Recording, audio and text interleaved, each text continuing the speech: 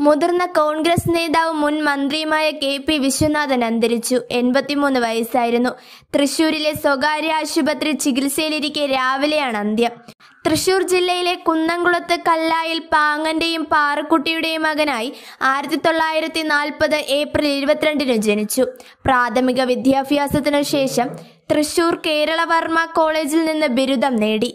അഭിഭാഷകൻ കൂടിയാണ് K P Viswanathan. Youth Congress വഴിയാണ് രാഷ്ട്രീയ പ്രവേശനം.